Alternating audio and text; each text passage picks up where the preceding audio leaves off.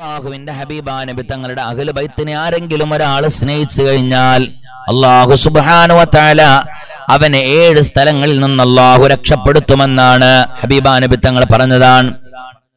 അള്ളാഹുവിന്റെ റസൂലിന്റെ കുടുംബമുണ്ടല്ലോ. ആ കുടുംബത്തിന് ആരെങ്കിലും ഒരാൾ മനസ്സറിഞ്ഞുകൊണ്ട് സ്നേഹിച്ചു കഴിഞ്ഞാൽ അവനെ അള്ളാഹു ഏഴ് സ്ഥലങ്ങളിൽ നിന്ന് രക്ഷപ്പെടുത്തുമെന്നാണ് ഒന്നവന്റെ മരണസമയം. അവന്റെ മരണസമയം രണ്ടവനെ കൊണ്ടുപോയി ഖബറിലേക്ക് കൊണ്ടുപോയി വെച്ചു കഴിഞ്ഞാൽ പിന്നെ അതുപോലെ തന്നെയാണ് മക്ഷറാവൻ സഭയിൽ ഹിസാബിന്റെ സമയത്തിൽ മീസാനിന്റെ സമയത്തിൽ സിറാത്ത് പാലത്തിന്റെ മുകളിൽ ഈ സ്ഥലങ്ങളിലെല്ലാം അള്ളാഹു സുബാനോ വ തആല അഹ്ലു ബൈത്തിനെ സ്നേഹിക്കുന്ന മനുഷ്യന്മാരുണ്ടല്ലോ. അവരെ അള്ളാഹു രക്ഷപ്പെടുത്തുമെന്നാണ് ഹബീബ നബി മുഹമ്മദ് മുസ്തഫ സല്ലല്ലാഹു അലൈഹി വസല്ലം അത് മഹാനായ താവസ്താദ് പറയുന്നത് നോക്കൂ.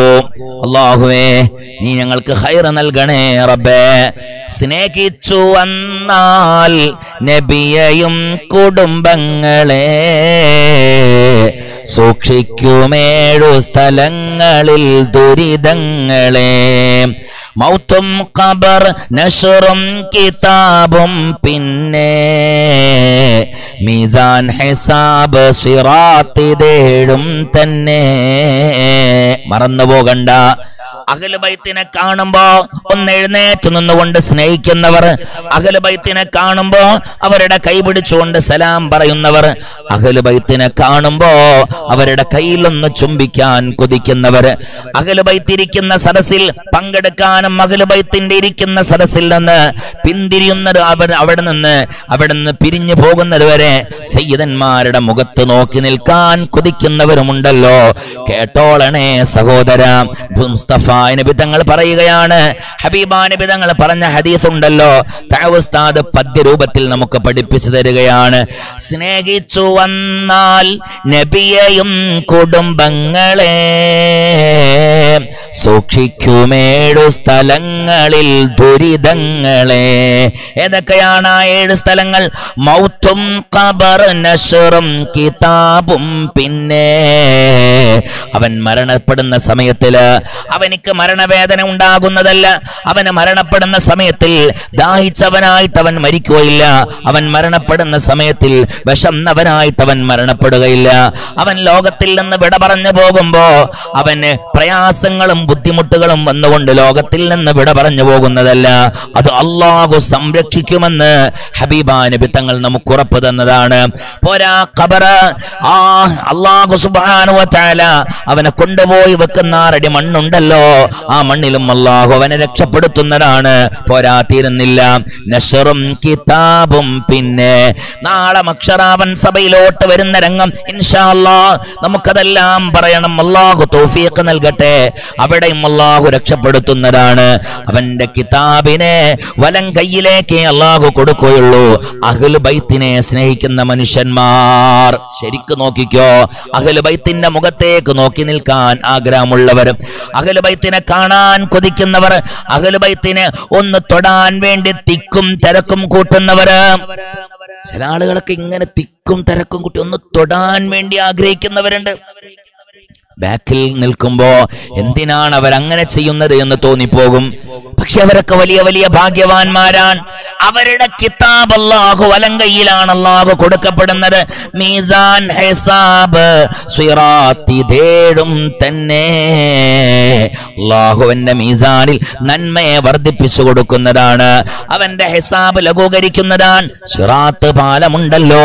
ആ സിറാത്ത് പാലത്തിന്റെ മുകളിലൂടെ മിന്നൽ വേഗത്തിൽ അവന് കടന്നു പോകാൻ കഴിയുന്നതാണ്. അള്ളാഹു തൗഫീഖ് നൽകട്ടെ. അവരെന്ന് പറയുന്നത് ആഫത്തു സമയം നോഹ നബിയുടെ കപ്പല. ഇവരൊക്കെയും എന്നും ഹദീസിൽ ഹസ്സില. ആഫത്തു സമയം നോഹ നബിയുടെ കപ്പല. ഇവരൊക്കെയും എന്നും ഹദീസിൽ ഹസ്സില. അതാണ് തങ്ങന്മാരുടെ അരികിലേക്ക് കൂടുന്നത് പാണക്കാട് കുടുംബങ്ങളുണ്ടല്ലോ.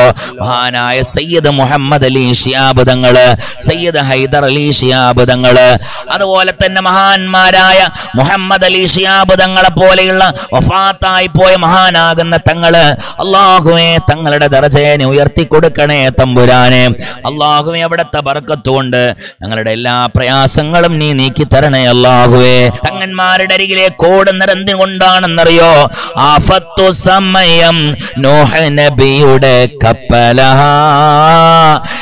ഇവരൊക്കെയും എന്നും ഹദീസിൽ ഹുസ്ല അവർ ആഫത്ത് നേരത്തിൽ നമ്മുടെ കൈപിടിക്കാനുള്ളവരാണ് അവർ സയ്യിദന്മാരാൻ മനസ്സിലായില്ലേ? അവരാക്ഷേപിക്കരുത് അവരോട് ചീത്ത പറയരുത്. അവരെ നിങ്ങൾ എന്ത് ചെയ്യരുത്? അവരെ നിങ്ങൾ കുറ്റം പറയാൻ പാടില്ല. അള്ളാഹുവേ നീ കാത്തിരക്ഷിക്കണേ റബ്ബേ. അവരോട് ഹുംബിൽ ലാത്ത കൽബിലൊരിക്കലും ഈമാനുമില്ലെന്നാണ് തിരുവചനത്തിലും നോക്കൂ നിങ്ങൾ ഹബീബ നബി തങ്ങൾ പറഞ്ഞ ഹദീസാണ്. അള്ളാഹുവിന്റെ റസൂലിന്റെ കുടുംബത്തിനോട് അഹ്ലുബൈത്തിനോട് അതൊരു ചെറിയ കൊച്ചുകുട്ടിയാണെങ്കിൽ പോലും ആ കുട്ടിയോട് സ്നേഹം നിന്റെ മനസ്സിലേക്ക് കടന്നു വരുന്നില്ല എങ്കിൽ അള്ളാഹുവിന്റെ ഹബീബ നബി തങ്ങൾ പറയുകയാണ് അവരോട് ഹൊബിൽ ലാത്ത കൽബിലൊരിക്കലും ഈമാനുമില്ലെന്നാണ് തിരുവചനത്തിലും. അള്ളാഹുവേ കാക്കണേ റബ്ബേ നീ കാത്ത് രക്ഷിക്കണേ അല്ലോ. അഖില ബൈത്തിനെ ആത്മാർത്ഥമായി സ്നേഹിക്കാൻ അള്ളാഹുവേ നീ ഞങ്ങൾക്ക് തൗഫീഖ് നൽകണേ തമ്പുരാനെ. നീ ഞങ്ങൾക്ക് തൗഫീഖ് നൽകണേ അള്ളാഹുവേ അഖില ബൈത്തിനെ ആക്ഷേപിക്കാൻ പാടില്ല. ഒരു പക്ഷേ ആ അഖില ബൈത്ത് നിങ്ങളുടെ സംഘടനയിലോ നിങ്ങളുടെ രാഷ്ട്രീയത്തിലോ പെട്ട ആളല്ലാതിരിക്കാം. അഖില ബൈത്തിനെ ആക്ഷേപിക്കാൻ പാടില്ല. അത് തങ്ങളാണോ? തങ്ങളാണോ? സയ്യിദാണോ? അള്ളാഹുവിന്റെ ഹബീബിന്റെ കുടുംബമാണോ? അവരാക്ഷേപിക്കാൻ പാടില്ല അവരെ വെറുക്കാൻ പാടില്ല അവരെ ചീത്ത വിളിക്കാൻ പാടില്ല. സാദാത്തിനോട് വെറുക്കലും നിർഭാഗ്യമാ. സ്വർഗത്തിനുള്ള മണം ശ്വസിക്കല സാധ്യമാ. സാദാത്തിനോട് വെറുക്കലും നിർഭാഗ്യമാ.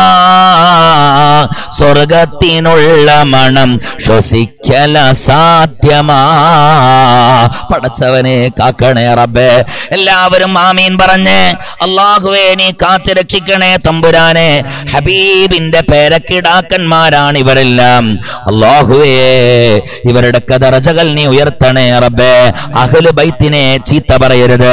അഹ്ലു ബൈത്തിനെ ആക്ഷേപിക്കരുത്. അഹ്ലു ബൈത്തിനോട് വെറുപ്പ് കാണിക്കരുത്. അഹ്ലു ബൈത്തിനോട് ഒരു ദേശത്തിന്റെ കണ്ണുകൊണ്ട് പോലും നോക്കാൻ പാടില്ല. നബി തങ്ങൾ നമ്മളോട് പറഞ്ഞതാണ് സ്വഹാബ ഞാൻ രണ്ട് കാര്യമാണ് ഇവിടെ ഉപേക്ഷിച്ചിടുന്നത്. ഒന്ന് വിശുദ്ധ ഖുർആനാണ്. രണ്ടാമത്തത് എന്റെ അഹ്ലു ബൈത്തിനെയാണെന്ന് ഹബീബായ നബി മുഹമ്മദ് മുസ്തഫ.